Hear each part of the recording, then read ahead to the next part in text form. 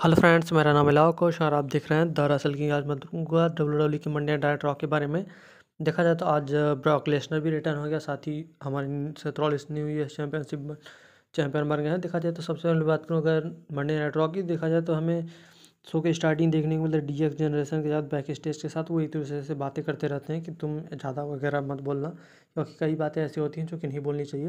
तो उसके बाद हमें शो की मेन शो के स्टार्ट देखने को मिलता है, वो था ब्लड लाइन के साथ, इसमें Roman Reigns Paul Heyman Jimmy Uso Jey Uso Sami Zayn Solo Sikoa ये सब आते हैं और एक तरीके से इनका एक सेगमेंट था कह सकते हैं, जिस तरीके से रोमानिक्स कहना चाहते हैं जो तुम लोगों के बीच में चला उसको शॉर्ट आउट करो।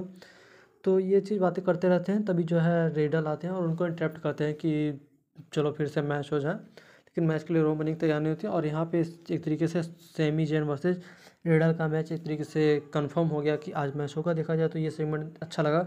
वही आगे हमें शो पे देखने को मिलता है थियरी वर्सेज जानी गार्गानो का वन एंड वन मैच और ये मैच कह सकते हैं कि काफ़ी अच्छा मैच था देखने के लिए, काफ़ी अच्छा इसमें रोस्लिंग परफॉर्मेंस थी।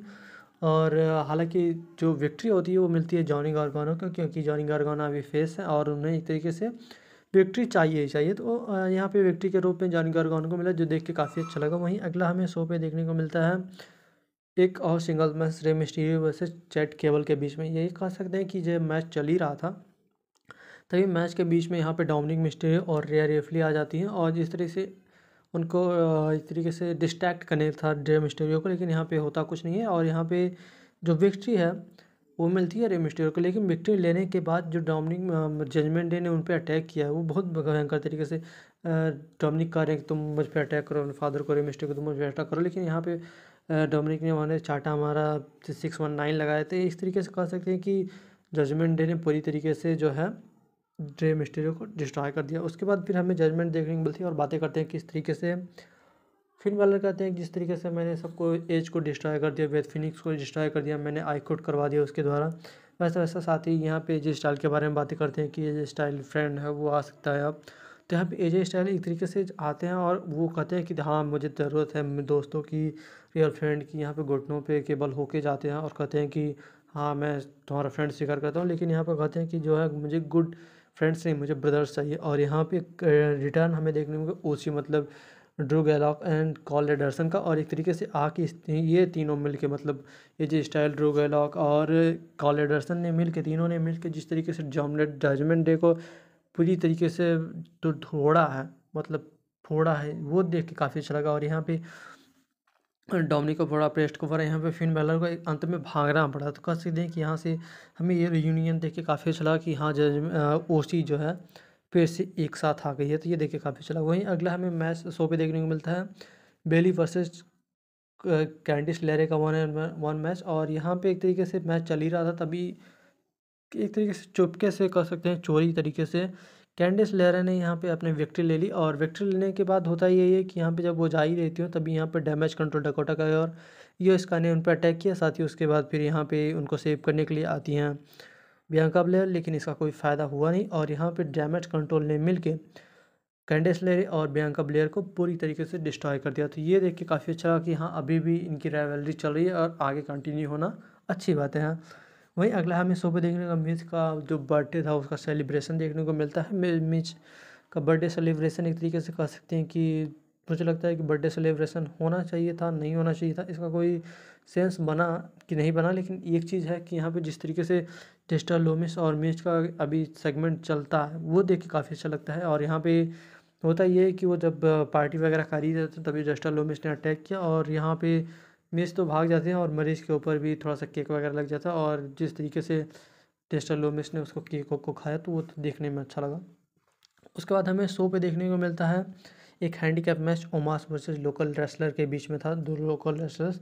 और यहाँ पे बताने के लिए खास कुछ नहीं, ओमास ने यहाँ पे आसानी से विक्ट्री हासिल कर ली। उसके बाद हमें शो पे देखने को मिलता है, था वो मैच, था Bobby Lashley versus Seth Rollins का, वो भी यूएस चैम्पियनशिप के लिए, लेकिन यहाँ पर सबसे पहले बॉबी लेसली आते हैं, उसके बाद कॉल आउट करते हैं कि तुम आ जाओ सेथरॉलिस में, तुम्हें देख लूँगा वैसा। लेकिन यहाँ पे जब सेथरॉलिस को कॉल आउट कर ही रहे होते हैं, तभी यहाँ पे हमें रिटर्न देखने को मिलता है बीस्ट ब्रॉक लेसनर का, और एंग्री वाला बीस्ट ब्रॉक लेसनर और थोड़ा सा शांत वाला।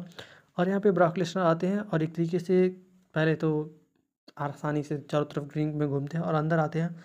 और गुड इवनिंग कहते हैं, गुड इवनिंग ब्रोकली। तो ऐसा उसके बाद फिर उन्होंने सीधा एफ़ फाइव लगाया बॉबी लेसली को, उसका सोफ्लेक लगाया, फिर एफ़ फाइव लगाया, उसके बाद फिर गमोरा लाक लगाया। यहाँ पे तो कह सकते हैं कि इस तरीके से, पूरी तरीके से ब्रॉक लेसनर ने बॉबी लेसली को डिस्ट्रॉय कर दिया। ये देख के अच्छा लगा कि हाँ अब इनके बीच में होना है क्या। है तो अच्छी लगा कि ये हमें रिटर्न जो देखने को मिला और दोनों के इंटेंसिटी जो है, वो काफ़ी ज़्यादा है। तो ये देख के अच्छा लगा और यहाँ पे सेत्रॉलिस आते हैं और सेत्रॉलिस एक तरीके से बॉबी लेसली को चढ़ा देते हैं। जैसे होता है ना, किसी के पेड़ पे चढ़ाना तो यही तो उस पर चढ़ा दिया और एक तरीके से इसके मैच हो जाता है यूएस चैम्पियनशिप के लिए और यहाँ पे पहले स्पीयर जाता है बॉबी लेसली का, लेकिन उसको पेडिग्री में कन्वर्ट कर पेडिग्री में कन्वर्ट करते हैं, उसके बाद फिर सोप्लेक्स हाई फ्लाई मूव्स तो यहाँ पे कर्व स्टोम।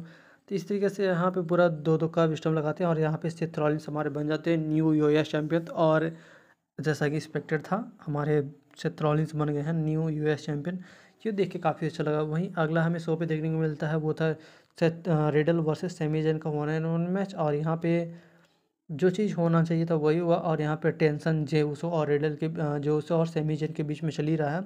और यहाँ पे जिसका फ़ायदा रेडल को मिलता है और रेडल आर लगा के यहाँ पे विक्ट्री हासिल करते हैं। कह सकते हैं कि ये चीज़ सही है, जैसा होता है, चलना चाहिए। उसके बाद हमें मेन शो पे देखने को मिलता है।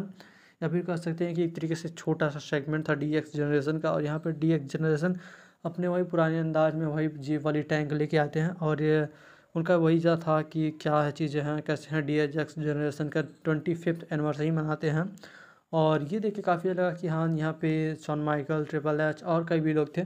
तो ये चीज़ें देख के काफ़ी अच्छी लगती हैं कि हाँ डी एक्स जनरेशन का अभी भी जज्बा है, जज्बाते हैं, जो उनको पसंद करने लायक हैं। तो देखा जाए तो आज का मंडी नाइट रॉ वाकई में काफ़ी अच्छा था। यहाँ पहले स्मैकडाउन फिर एक्सट्रीम रूल उसके बाद रॉ ये देख के काफ़ी अच्छा लगा। देखा जाए तो दोस्तों, जो आज का वीडियो था, यहीं तक था। वीडियो अच्छा लगा तो वीडियो को लाइक शेयर सदी चैनल को सब्सक्राइब ज़रूर कर लें। और ऐसी इन्फॉर्मेशन वीडियो देखने के लिए मेरे चैनल को सब्सक्राइब साथ ही बेल आइकन को दबा लें और अपने दोस्तों तक ज़रूर शेयर करें। Thank you